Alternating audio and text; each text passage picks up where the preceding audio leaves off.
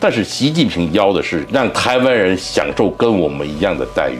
你一打我又要投降，那当然换了我做这个中国的这个领导人，我要打你。你自己都要都要投降了吗？那我干嘛不打你？如果习近平下台的话，他们这些人就是死死无葬身之地。前情提要：此片为下集，还未看过上集的可回头观赏。再询问你最后一题好了，就是你怎么看习近平打台湾？会打吗？如果打的话，是什么时候打？习近平这个人呢，其实我年轻时就跟他认识。从年轻时呢，他实际上是一个他有性格缺陷。他这个性格缺陷呢，就是说在他在年轻的时候，他受过很多挫折。就是他的父亲曾经被啊打倒过啊，他属于红二代的圈子里的人，但是呢，红二代的圈子里的人又不愿意理他。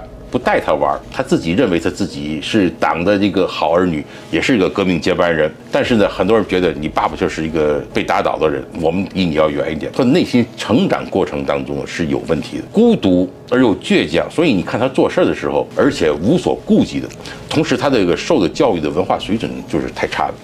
他是初中二年级，初中二年级，你知道我们上学的时候是小学上五年，初中上两年。在那个时候呢，我们是怎么上学的？你知道吗？呃，现在的正常学生一天可能要上午上课，下午还要上课。对我们那时候是上什么？是两课制，两课是什么？就一天只上两节课。就是上两节课之后就就回就回家了，所以他那种教育的水准下来，实际上他的初中毕业，他可能小学都没有毕业。小学水准都没没够，所以但是呢，他是个博士，所以我们大家都称为小学博士。对 对对，所以呢，这个他这个性格啊，就是造成他这个一个非常变态的一个性格，而且你看到他他任用的人，他不敢任用红二代，也不敢任用有知识的一些人，因为他觉得在他他有自卑感，所以呢，他在那时候任用的时候，所有的任用的水平都是一定一定要比他水平更低的人。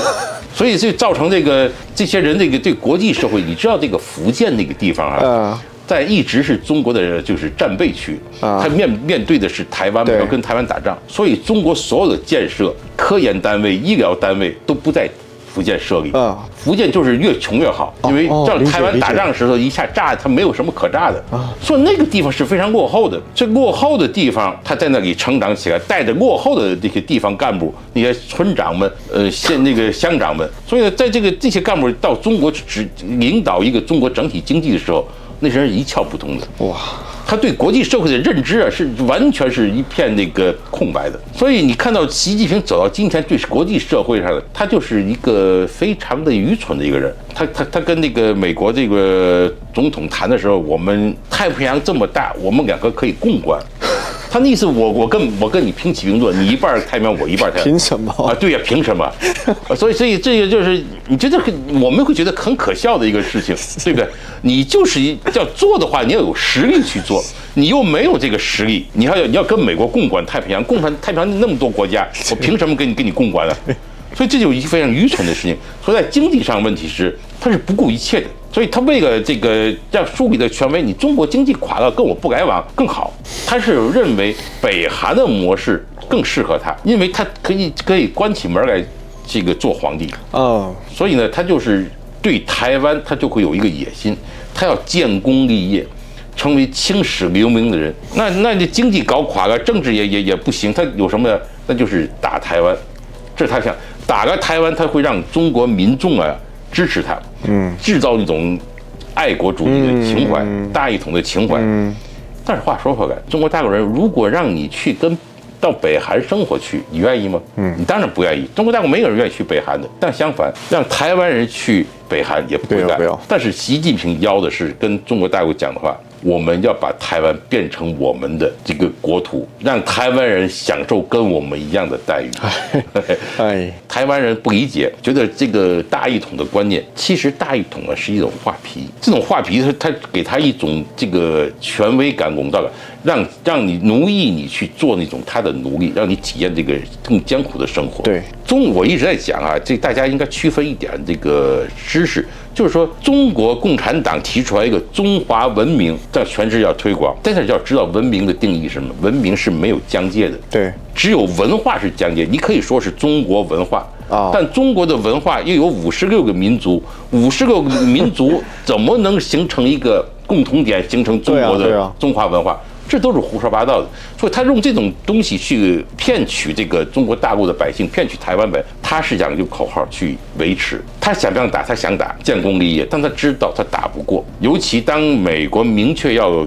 反对这个侵占台湾，西方国家反对侵占台湾的时候，尤其乌克兰这个事件，给给这个世界这个西方有一个非常高的警示。习近平这么做的话，他肯定是引起全球的大战。所以在目前看情况，习近平不会打，是他现在已经成为一个怎么讲呢？就是说要维持。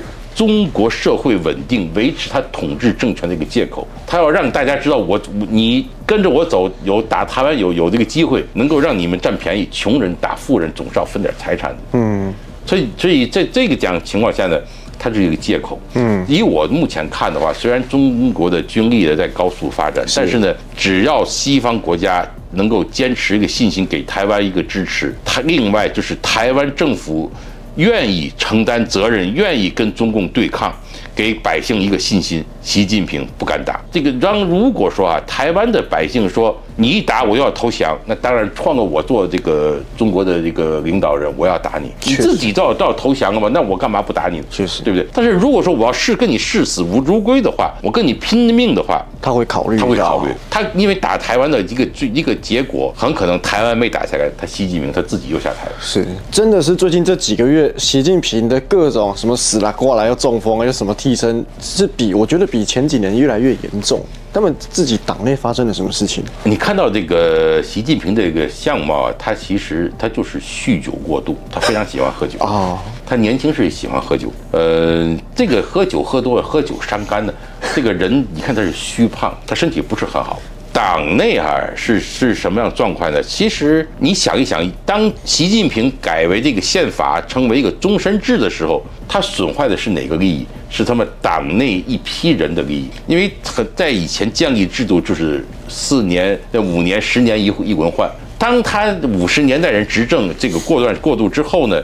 他不没有文换制度的时候，他等于把六十年代、七十年代那批人的仕途全部堵堵死了啊！那批人就是绝望。你想那批人如何会跟习近平一条心？是当应该我们该做做领袖做事的时候，你把我带的这批人全部堵死了，试图往下打压，所以党内的反对量一定是有的啊，而且各种利益上也会有。当这个习近平现在当他独裁之后，他是只有他的少数的几个人家族会获得利益。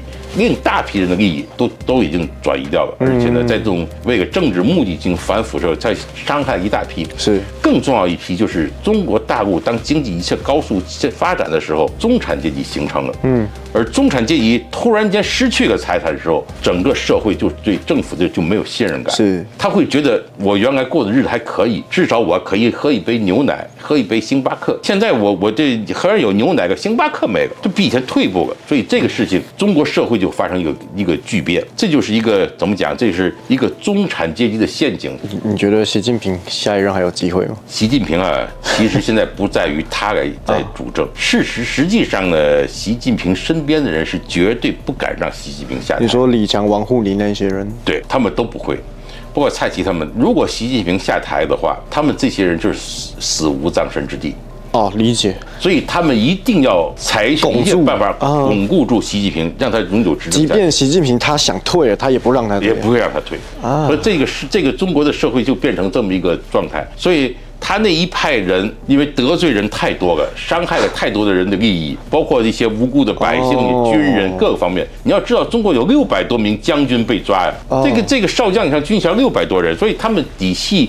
有非常多的，所以这个就像我以前跟他们讲过一个，就是中国大陆啊，你知道发生了很多爆炸案，前一段时间是是是，那些爆炸案是谁谁做的呢？就是中国大陆他抓了这个两个将将军吧，就是一个政一个全国的一个总政治部主任，那个郭伯雄，他们他们的子弟带了几亿美元，几亿那个四亿多美元到美国来，他们有奖励，炸掉一开始是。二十万炸一个这个地方，奖励二十万人民币。后来很多人没人去，没人干，觉得太少，不值得，好提高到五十万。所以大中国大陆有一段时间啊，大家很多没有注意的新闻，很很多，他们都是每周每周都在到各地有爆炸案。其实那个爆炸案全都是他们军中子弟哦在出钱奖励制作的。这就是一个中国社会的一个一个内部的一个矛盾的一个。因为央视那些都说是天然气什么的嘛，但是我们看网上流出来的影片，他都央视记者什么，还有当地百姓都被阻止报道。然后当地还有一个鸡排店的人说，我是用那个电子电子加热的，怎么是又又燃料气爆了呢？实际上都是人故意的爆炸案。嗯、这种爆炸案呢，其实他都是郭伯雄的这个儿子，他们的这底下那些人的子弟在做。我们这个在洛杉矶，他们是在美国都公开悬赏的，炸一个五十万，你炸多少规模的一百万，那小规模的也要二三十万，所以他每天都会就每天就有爆炸案。中国大陆是不敢报而已。不过你说像习近平他身边的那些七六七常委是吧？嗯哼七常委都是文化水准比较低的，但王沪宁不低啊。王沪宁呢，这个人其实他是一个非常那个狡猾的一个人。是，但是呢，他并他这个在中国啊，他作为一个理论家的时候，他所想的就是维持他这个地位，所以他三三届元老，这哦三任这个领袖都是他。你想想，一个人能够担任三任不同元老的这个智囊，他有多，他是有一个非常高的智力。司马懿啊。对，所以呢，它的变化是非常大的。包括王沪宁这以前呢，给这个三个代表，给这个江泽民，其实三个代表，江泽民想想把共产党改变成民民主化的政党，哦，这是这当初的想法。三个提出三个代表之后，到胡锦涛的那个科学发展观，胡锦涛采取的策略就是不争论。嗯，我可以讲一个小故事。胡锦涛啊，在中南海当书记的时，当总书记的时候，他要装修。装修的时候呢，突然他装修完房子，他说发现跟着他升官的一个文件柜不见了。他说：“哎，我这个文件柜哪里去了？”这个大家就找，说：“这我说这很有纪念意义啊！我我这当时升官就靠这个文件柜升官了，就有有是有福气的一个东西，带来福气的东西，你们给我扔了呢？”大家就很奇怪，就找找来找去的，就说我们查录像。结果查的录像，给他装修的两个农民工拿个小板车，就把文胡锦涛的文件柜从那个中南海的一小小门儿走走运输材料小门儿给拖出去，给卖掉了。那个文件柜卖了多少钱呢？五十块人民币。结果就他们说把这个抓出来，胡胡锦涛说：“哎呀，算了吧，这个事就不计较了算了，啊，就算了。”哇，你就很难想象哎很。难想象吧？胡锦涛还干了一件事儿。胡锦涛呢，他没事儿干，他在看到他住宅后面呢有个一块地，有块地，他是想怎么改造一下，他就开始说好了，我们要改造，给它改成个那个花园。胡锦涛呢，就天天在家里自己画图，画花园，哗设计好了，他反复研究，好叫人给盖了。盖完之后，他看了之后，哎呀，不太满意，怎么办呢？搁这看别扭，这拆了吧。你就知道胡锦涛当时他是不作为的，所以他说是不争论，他根本就不管，他就他惹不起那些地方诸侯，所以不干。当然，习近平上台之后，他是所有事情都要管的，嗯所以他这个就是两代领导人之间非常大的一个反差。嗯嗯嗯，说这时候对整个官场跟这个百姓都会有很深的影响。是。好，那现在时间也不早了，我们非常感谢梅先生可以接受我们的采访。那今天影片到这就结束，喜欢记得订阅，不喜欢记得一定要把我封锁。我是八友，下次见了，拜拜。拜拜，谢谢大家。还有些更黑的内幕不方便分享，敬请见谅。